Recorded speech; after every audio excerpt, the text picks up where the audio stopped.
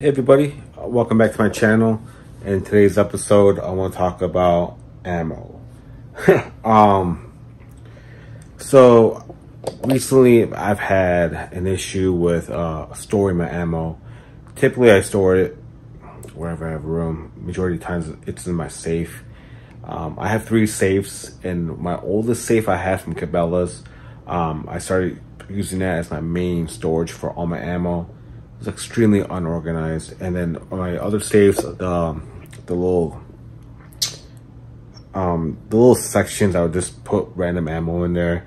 It just it'd be everywhere, and it just wasn't very organized. So when I plan to go shooting uh, or to the range or training, any kind of things I had to do, I had to dig around my safes to find something or find you know my ammo I needed at that time. That time either it was five five six or nine millimeter or four or forty caliber um, it doesn't matter, anything, right? And it would just be a hassle because sometimes I want to take my specialty guns out there. Or, you know, I, I want to take my Desert Eagle or my uh, 500 Smith & Wesson. And finding the ammo was just annoying because I just put it in the back of the safe and called it a day. So I've been scavenging um, the internet for the past year, year and a half, just trying to search for ideas where how to store your ammo. And the one thing I came across was um, it's like a safe size uh, storage unit uh, from some couple companies. There was something like either 800 bucks to like $1,500. So I was like, no, I'm not doing that because they're very narrow. So it wasn't very roomy inside of it. It wouldn't be very organized. Um, you can always buy another safe, but that's just stupid. It's not logical, right? So about, I want to say about eight months or 10 months ago, I was at my best friend's house uh, for a get together and I walked through his garage and I saw a craftsman's tool cabinet in the thing, right? It was a Craftsman's uh, uh, storage cabinet. And I opened it up. I'm like, it was roomy. It was a lot of things in there. So I started looking at Amazon and started looking for these tool cabinets or storage cabinets. I found some for like 150 bucks, 200, but I just was very weary. I loved his storage cabinet, right? I, I love that Craftsman that he had. Uh, but the one he had, they stopped making it. So I had to, you know, look for a new one. So I went to Lowe's, look at them and they're kind of expensive. They're about 500, 550. And I, um, I went to Sears.com. Believe it or not, Sears is still around. Shocked me as much as a shock to right now. They're still around. So I found that, uh, I found one there for like, was like 700 bucks. I was like, damn, that's kind of expensive, right? Uh, so I'm like, all right, no. And then a couple weeks ago on Father's Day, the ones I was looking at Sears was that was on sale for 3.99 yeah, I could get the Amazon ones for 250 or 150 bucks, but I was very wary, right? I, I thought, I thought Craftsman's were made in America. So when I ordered them, I got them on Monday, made in China. So yeah, it is what it is. Um, as me and my best friends were assembling them together, um, there was some kind of defects on them from shipping, right? Some damages. Not all the holes, you know, fit proper from the screws. So that was kind of annoying frustrating, but we got them put together. Um, one of the doors does not lock properly on the bottom. The magnet doesn't connect for whatever reason. Just it won't lock onto the bottom of it. That's frustrating. But overall, I'm extremely happy with everything. Um, and it's the best thing I've done in a while as for organization per se, because now I know exactly where all my ammo is.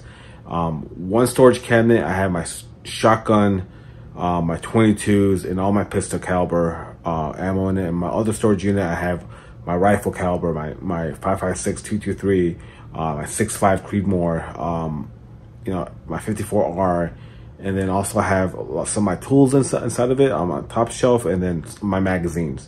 So I'm gonna walk you through it, and then you tell me what you think, right?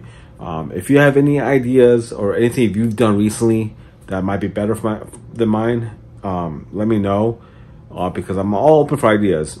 This is right now fits perfectly because it opened up more storage for me in my other safe. So because my other safe was mainly used for all ammo, this opened it up a lot more for me and I was able to move all the ammo out and move more rifles in there and more guns in that. Made it perfect because it opens up all the safes. Nothing's all nothing's on top of each other anymore. I don't have ammo on top of guns. I don't have that anymore. And I feel it just feels better because now I can grab and go if I need to go to range or go to training, whatever I need to do. But I'll walk you through everything so you guys can let me know what you guys think. So as you can tell, they're, they're right there, right? One and two. That's one of my safe. And this safe right here, it had all my ammo in it. It was filled like up to here, halfway up with all ammo because I have so much 22. I have a ton of 22 and you're about to see. So bear with me.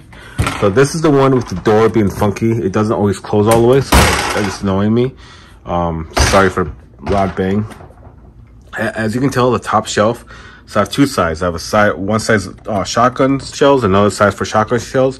I just wanted the weight to be even uh, because shotgun shells are heavy. And in the middle is all the pistol caliber firearms I own. As you can tell, this 50 AE, 500, uh, 460, 454, and then uh, 45 long Colt and 410. And then this, uh, there's some random ammo in here. Uh, I bought the uh, I bought a whole bunch of uh, firearms a long, long time ago from a state sale, and this came with it. So I, I, I just haven't really shot those ammo because it's super old, so I just leave them in there. It's just I don't know, remember. Bottom uh, is 40, uh, 380, um, 357, 38 special, 10 millimeter, and then 45 on the left side of it. Bottom, uh, 17 HMR, 5.7, and then 9 millimeter, uh, subsonic and then my nine millimeter practice rounds over here. And then at the very, very bottom, as you can tell, it's all my 22. There's a lot of 22 in there. I can't believe all that fit in there. Uh, it, it's deep in there. Um, there's over, I want to say over 100,000 rounds of 22. I have some of these little cuppies right here. So this is the very first one. As you can tell, every, like I can just be like, I know where my 500 is. I can come grab it. Simple, easy, organized. I feel so much better because for the past 10 years, it's been horrible and it's my, it's been my fault. Um, so finally I got this idea. So you can see the Craftsman logo, logo right there. Um, see, as you can tell, the screw didn't fit. This is a little bent when it came in. Huh, this is frustrating. Um, this was bent up top there. So, so very top shelf. You can see, um, I put a lot of miscellaneous stuff in here. I have some, some stuff I need to work on, some, uh, these are some muzzle devices, some of my charging handles, and some of my tool sets in here, cleaning supplies, just random stuff in here. The middle shelf, it's all my magazines. Um, I have them labeled with this little, little uh, rubber band. It helps me to defer what, what which one's which. Um, I have a lot of different rounds in here too. A little dark in there, I apologize. Let me save up my flashlight. So there you go, a little bit better. So you can see my different magazines in here, all organized. I can I can know which one, and these are my rifle caliber firearms. I have a 4570, I have a 4570 Government, 30 six rounds in there. Trust me, there's 30, there's 30 six in that box and then my friend gave it to me a long time ago.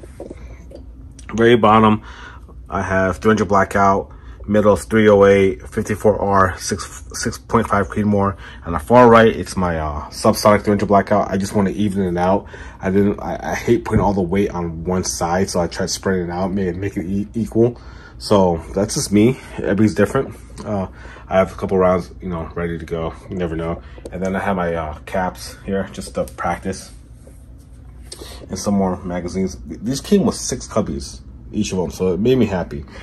At the very, very bottom, as you can tell, I have a ton of uh, 223, 556, 762.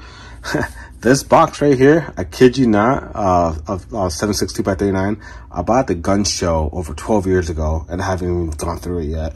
It's a lot. So, and then I have a whole bunch of different uh, 223, 556 on this side. So it's all spread out here, but this is majority of it. So I would love to hear what you guys think. If you guys like this idea or not, or if, if you guys have a better idea, you know, anything, every little bit helps. Um, I, you know, I appreciate you guys coming to my channel and, and you know, the time and going over there with me. I just closed the door wrongly too. I mean, I'm, yeah, that's I, mean, I did that. But yeah, uh, please like and subscribe. Uh, leave me a comment what you guys think. You guys like my idea, um, and then it just opens up more for me for my rifles. Have more, I have more guns coming in, so I needed a room. And um, obviously, I, I don't have a giant gun vault to put all my stuff in there. This is by far the best idea I can think of. Yeah, it's not fireproof. Um, it's not I don't recommend putting, you know, getting something like this and putting in your garage because of heat or cold. Depends where you live. I live in Phoenix, so it's very hot. So I'm not gonna put that in my garage. I don't even own a garage. I have a carport, so it wouldn't even matter. So it's it's just helps me out, so I can grab and go, grab and go if I need to, right? Get my bag, grab and go, organized, ready to go. Um, what do you guys think? I uh, appreciate you guys' feedback. Uh, thank you for your guys' time. You guys have a wonderful day. You guys stay blessed. You guys stay safe. Uh, thank you. You guys have a wonderful day. Bye.